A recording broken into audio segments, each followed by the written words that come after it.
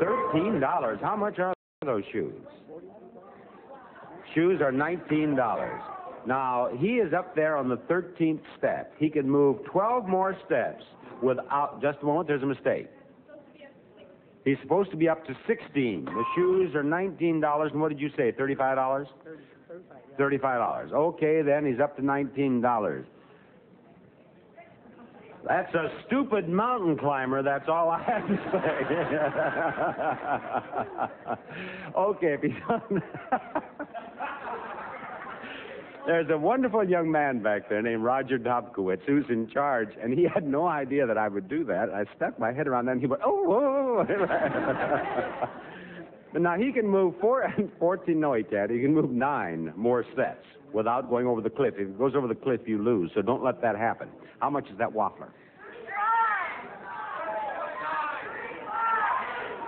Thirty-seven dollars. Thirty-seven dollars. Is that right for the waffler? No. Now watch him. He is up to twenty dollars. Twenty-one, twenty-two, twenty-three. Oh, he stops on twenty-four. How much is the waffler? Twenty-nine dollars. Do you know that you could make this so exciting for us if you could get that tableware exactly right, or miss it by only one dollar and still win? It would be a highlight of the show. Now, how much is the tableware?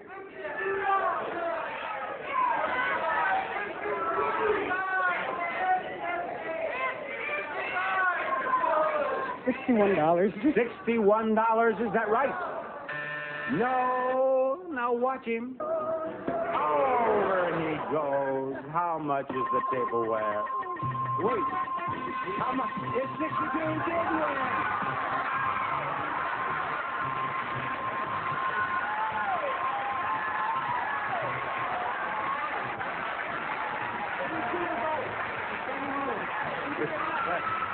Just a moment. Come on. Just a moment. I want you to meet the young man in charge of this. This is Roger Dobkowitz. Now, what's going on back there today? The machine's getting old. The machine. Yes. But the operator was perfectly all right. That's right. Uh, we, yeah, we were fine. You were fine. Yes. You did everything right. Yes. But it was the machine. Yes. Therefore, Roger, you are in no way responsible, and I thank you for doing such a fine job. Yes. And I thank you for making it work. Yes. Bye-bye. We'll have our showcase showdown after we have this message.